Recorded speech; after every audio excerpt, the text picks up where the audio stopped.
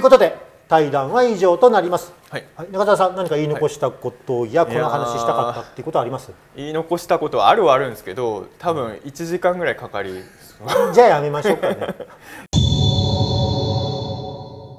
あのーいろいろ見てて手が横澤プロダクション。あ横澤プロダクションね、はい。あじゃ白石浩二監督とはい。の心霊ドキュメンタリー会、はいあれも見たんですけどあの時に吉田さんがすごいいろいろちょっと面倒くさい吉田さんになってたじゃないですか。あのめんどくさいのはー白石監督でしょ。ええ映像に映るのは白幽石監督はめんどくさい。いや映像に映ったから幽霊じゃないみたいな話をなんかしてたじゃないですか、はい。あれ僕見ててシンプルでしょ。めんどくさくないね。シンプルな話じゃないですか。都市伝説展の打ち合わせの時もあれに一回なりましたよね僕と吉田さんで。そのなったっけ、えっと写真とか映像に映るともうそれは違うものなんでっていうのをはい。打ち合わせ中に15分ぐらいしてその間周りのスタッフさん待ってたっていうのを思い出したんですけど。ありましたよねなんかさあ中澤さんがすぐ納得してくれなかったのがいやいやだって全然納得してないです僕いまだにあの納得してない。ですよその映ったら幽霊じゃないっていうのは。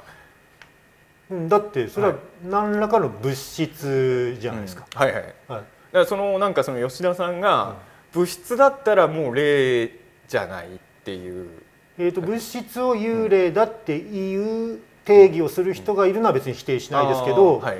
ただ、えー、とこれまで我々が幽霊って言ってたものとは違くなりますよね。これでもあのまあ言葉が難しいんですけど、霊霊幽霊魂とかうん。いろいろまあ、まあこの辺がまたややこしいところなんですけど、まああれ自体をね本当か嘘かは別として昔の心霊本とかだと、あの人が死んだ瞬間の体重を測っていたら、はいはい。ちょっと体重が軽くなって21グラムね。これが魂の重さなんじゃないか、はいはい。はっていうことはですよ。重さがあるんですよ魂は。いいや21グラムって別に嘘じゃんオカルト界隈ではあるんですよ。嘘じゃんだってそれ。いや本当かも、まあ、あれが本当いや まあでもあれが嘘だあれは嘘でもいいんですけどいやだから要は21グラム減るっていうことを主張すれば全然いいんですけども、うん。はいはい。それが持ってだから物質としてあるって二段構えにするのはおかしいですよ21グラム減りましたって言説自体は私好きですよ別に、はいはいいい話だなと思いますけども、はいはいそれを持って、んえーはい科学検証できましたって主張するのはおかしい。やそれでできましたって言っちゃいけないと思います僕も。でもそういう前提じゃんって今の話あの僕はただでもその霊っていうのが霊っていうかまあ霊はややこしいね魂って言い方にしていいですか、はいはい。要は死後がね死後の何かがあると残るとした場合に、その魂っていうのがどういうものか全くわからないわけですよ、うん。だからよ吉田さんが言うようにそれはなんだろう吉田さんの言い方だとしかもあれですね語られた時に初めて霊になるみたいな言い方をされてましたけれどそのまあ魂としてはですよ、そのも物理的にないかもしれないし、物理的にあるものかもしれないじゃないですか。うん。だから、あのーいわゆる世に言う心霊映像とかいうものも、まあ、霊をと魂を取った映像である可能性もスーパーありますよね。ないなんでですかいやだからそれは魂ではないから、そこが僕ちょっと分かんないですよね。そのあれが。で何らかの物質としてあるっていう主張なんですね、だからその魂が、あの100%物質というわけじゃないんですけど100%物質じゃないのあります物質でもあり物質でもないってそのダークマターあそういう意味じゃなくくてあの僕はまだ答え保留派です。だからその魂が物質じゃない可能性といわゆる物質として確認できるものなんじゃないか魂はっていう可能性も一応検討するいやいやだからそういうこと言い出したら別に私だって、うん。あのじゃあ物質として、ん。えーあるものをうん。魂と主張する人がいて、ん。でその物質がちゃんと発見して、はい。えー再現可能なものになりましたっていうのを否定してるわけじゃないですよ。あーなるほど。別にそれはあるかもしれないけど、はいはい。ただそれは我々の言っているこれまでの、文化として言っていたうん。幽霊や魂というものとは違う別物ですよって言ってるだけで。でも吉田さんが言うその文文化としての幽霊っていうので言うと、まあまあこの幽霊の文化も多分語り口がみんなバラバラだったじゃないですか。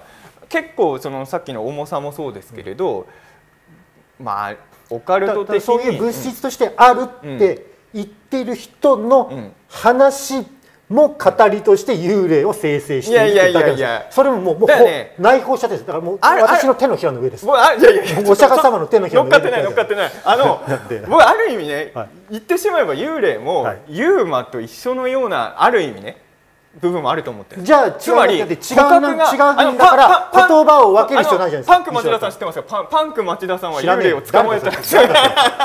動物研究動物研究家のパンク町田さんは幽霊を一回捕まえたことがあるらしいんですよ。物理的にね。だからそれは幽霊じゃない。なんでよ？だって物理的につ物理的かどうかはまだわか幽霊が物理的に捕まえることが可能なものである可能性もあるわけじゃないですか。それはだって幽霊の正体がまだわからないわけですからそれは、えっと、あその物質的にああるという前提の世界観で生きてる人からすればそうでね私はそういう世吉界観だからいやあある種の穴文化文化として見てるでしょ？穴はないんです。私のだから物質としてあったらそれはじゃあ私の言ってる幽霊ではありませんっていうことなんだから。まあ、だ吉田さんが言うだからでも、あの対談見たら、あの吉田さんじゃない人が幽霊かもって言った時にそれは幽霊じゃないって人の幽霊感に違うって言ってるわけじゃないですか。でもそれは、あのその人がちゃんと、えーはっきり分けてないからです。それや。今で言われてることの幽霊を幽霊と言ってるくせに同時に物質としてあるっていう二律背反してることを言ってるからうん。それはちゃんと分けて考えてくださいっていう。でもどどでも昔の、まあでも幽幽霊幽霊幽霊をうーんちょっといまいち私が言ってるこれ映像で映るか映らないかっていうのは、まあ一つ大事なポイントではあるんだけど、うんはいそれが絶対的条件として言ったわけじゃなくて分かりやすい事例として、はいはい映像に映るってことは物質的に工学的に捉えたもの。うんになってっていうことだし、皆さんは映像に映ったじゃあ幽霊はあるんだっていう立場の人はつまり幽霊は物質としてあるんだって言ってるわけじゃないですか。そうですね。うんそうですね。そこまでは。でそういう物質が謎の物質があるかもしれないっていうのは全然否定もしないしあーはいはい。まあ、知らないあるかもしれないけど、はい。えーそれを幽霊今まで語ってきた幽霊と、うん。そのあこういう物質としてあるものと、をイコールでいきなり結びつけるのはおかしいよって言ってるんです。ただ昔はやっぱりそういうふうに幽霊捉えてた人ってずっといっぱいいるいやいるです。いるです。いるです。よやっぱりそれはやっぱりそれはこ今の我々から見て、うん。そういうふうに捉えてたっていう再解釈してるだけです。えー？えじゃあだってそもそもだって。あの対談の時っはい。て僕コメント欄見たんですけどあんまりみんな納得してなかったですよ。まあ それは、えーね。私が間違ってるのかそれとも皆さんの理解が追いついてないのかどっちかは分かりません。いやガリレオ・ガリレイなのかもしれないですよね。あまあまあ私がね。うんまあ。それは分かんないです。まあまあ私がバカなのかもしれないし、ん。皆さんがバカなのかもしれない。それはどっちかバカかは分からないけど。吉田さんがこだわってることを100%理解してるわけじゃないですけど、ある程度は分かってると思うんですよ。だからそのその幽霊という言葉がね、やっぱあやふやだから幽霊、まあ、僕さっき言った魂って言い方の方が好きなんですけど、その同じ言葉を言っだよくね幽霊いるいない論争する時も幽霊と魂じゃあ魂に言い換えますね。だと、うんやっぱりちょっと議論の議題が違くなっちゃうんで、まあまあね確かに。そうそこは分かります。うん。言ってることは確かに。私の言ってるのは幽霊でもについて言ってるんだから。オカルトエンタメ大学もそうだけど、あのオカルト番組とかが言う幽霊って魂のことじゃないですか。オカルト番組が言う幽霊は。そうなのかな。え体験談じゃない？死んだおばあちゃんを見たとか何か謎のもの人が型らしきものを見て、えーそれが、えーどうも調べたり後から話を聞くと、他の人から話を聞くとそこで交通事故で死んだ人とかだったりえー古戦場でうん戦で死んだ人、あじゃあ私の見たのはそれだったのかもしれないっていううん体験談としてある幽霊がメインじゃないでか。ですも体験談だけどそれって土の子を見た話とかと一緒で、あのオカルト番組は少なくとも民放のオカルト番組は、そこから何に発展するかっていうと、やっぱり幽霊はいるんだいや、いないようじゃないですか。あだからその考え方はおかしいと思ってますよ。私は。ああなるほどね。だからその民放のテレビがやってるような幽霊をまずそもそも吉田さん認めてないわけですよね。そういう。えー、とそっちに話が流れていくのはおかしいですね。えー、とだから物質的にいるある、うん。存在論的にいるあるじゃないですよ。物質として、はいはいえ何らかの自然科学ではい。計測可能な、うん。こうここでこういうのが、えー、とプラスチック素材としてうん。あって、でっていうふうな、えー意味であるっていう方に流れていくのはおかしい。ちょっと話を若干変わるかもしれないですけど 吉田さんの中でなは物理的じゃない、はい。物理的じゃないそれは今の我々の科学では確認できない魂みたいのがあるっていうのもなしですか？その映像に映像にも映んないし、見てる人もたまにいるぐらいだけど、うん。それは。そういう何らかで、まあ、もしかしたら将来的にはそれも謎が解ける可能性もあると。だからそれそう私結構うん。最初の段階から言ってます。じゃあそういう意味ではあのー魂否定派ではないみたいなことですよね。だから私別に魂も幽霊も否定してるわけじゃなくてそれを物質としてあるっていう言説を否定してる、だから今は確認今できてない。魂はもしかしたらあるかもしれない、でも、うん。幽霊と魂で分けちゃうとそれ一緒にされるとちょっと困るんですけど、まあ僕もそこはややこしいと思うのは申し訳ないんだけど、はい。はい正直と僕が気にしてるのは魂なんですけどただ大体こういう場でみんなが言ってるのって、はい。魂のことみんな幽霊って言って喋ってるから、まあ、それがちょっとそうかな。うん。まあ少なくともこの間の対談見てたら、あのー白石さんは多分魂を幽霊だって言ってるなと思いましたけど。えっとそれはじゃあどう違うんですか？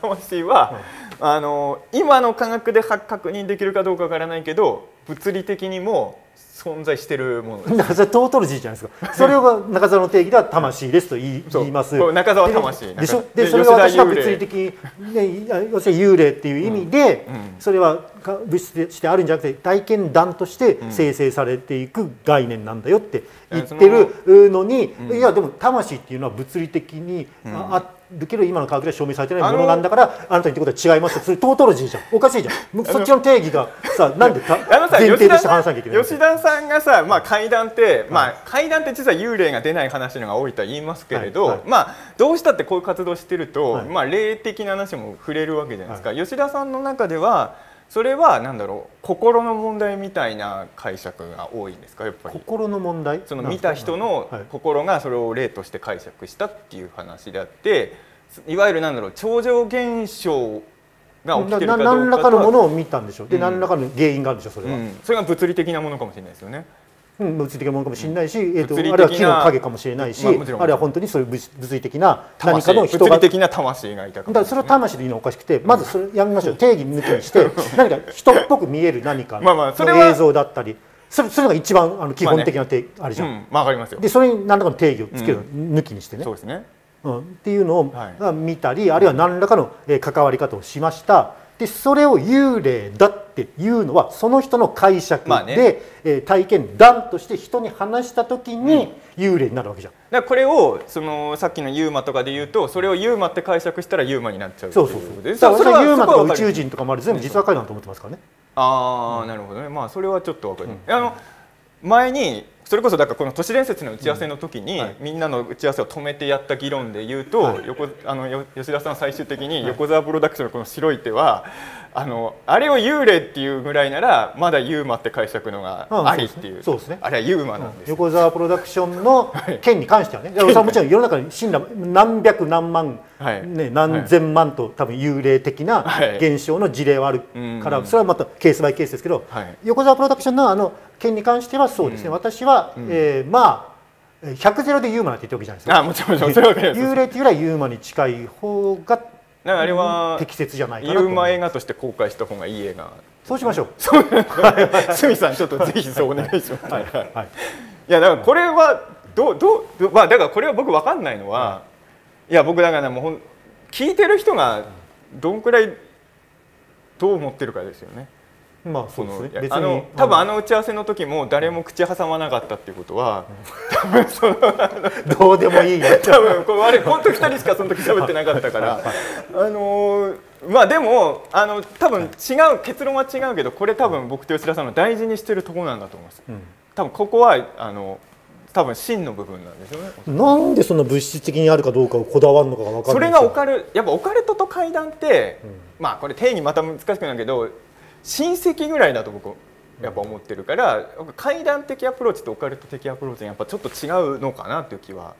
でオカルト的アプローチはやっぱどっちかというと物質とか証拠とかにこだわっちゃうところがやっぱあるので、うんまあまあそれこそ西洋神秘主義も、うん。えー西洋自然科学と初めの頃は同じだと考えればね、うん。錬金術みたいな感じでね,、うんそういう意味で言えば本当の根本の根本は仏性として、うん。えー仏としてゃんと取り出すことができるっていうことが神秘主まあ義、魔術主義もあるかもしれないですね。なんかインチキにだってバレたことばっか例に出すのはよくないですけど、エクトプラズムとかもあれはまあ物理的に、ねあれは物質だって言ってるからね。そうだから要はやっぱ魂は物質的なものっていう解釈はまあずっと、てかそういう人間は思ってきてたっていう人歴史も間はっていうかいやだからオカルトっていうのは狭い意味で言えば、まあ、西洋あまあそうねのね。あの西洋的な考えだから。言えば、はい、そうだからやっぱりオカルトにこだわる人間からしたらまあ、魂は物質の可能性もあるっていう方向で。あ狭い意味のオカルトで言ってる。あそうそうそう、う。んまあまあね。ね。狭狭い意味で僕は言ってます、はい。あ納得してもらいましたか？いやあなたがそういう立場だってことは別にいいけど でも私のあ論は全く曲がりませんけどね。自説は全く曲がらないけど。ここでも僕ちょっとコメント欄怖いなあのなんかわけわかんないだったらいいんですけど意外とこういうことってあんま人前であんま言わないじゃないですか、はなんかめちゃくちゃ中澤の理論破綻してるとかめっちゃ言われると僕の芯だからここねいや破綻はしてないですよ。中澤さんはそういう意見で、ねただ私えーの説を曲げろっていうのはおかしいいやでも僕も曲げる気はないんですけど、まあ、ただやっぱりあの白石さんとかと対談を見てた時にやっぱやっぱ吉田さんのあれは僕僕の幽霊っていうのが視聴者の人にあんま伝わってなかったかなと思ってそのこれが幽霊なんだよっていう。でも,、中澤さんちょっと特殊だと思いますよ。それを あの魂っていうのがまず一般的見解としてあってそれは物理的なものだけど今の科学では、うんえー証明しきれていない魂というものがみんなの言ってる幽霊だっていうのは、うん。そうかな？魂そうじゃと幽霊ってないと思うけど。みんな分けて考えてるのかな？そ分けて考えてあそうですか、なんか幽霊と魂一緒なあにイメージとしてはそういうふうに思ってる人が多いのかなと思ってましたけど。また違うのかな、うん。うん、多分違う まあここら辺はね そうですね。分かんないです。またももうちょっと。うコメント欄が紛糾するかもしれない。ですね。あの幽霊魂論争で。幽霊魂論。あのはい物理派の人が頑張って都市伝説展の話ですからね。あんまりその話はもうやめときましょうかね。でもこういう色お考えが違う人たちが集まってやってるから都市伝説展は面白い。なるほど。ねなってるっていう強引に引き戻してくれて。ありがとうございます。ありがとうございます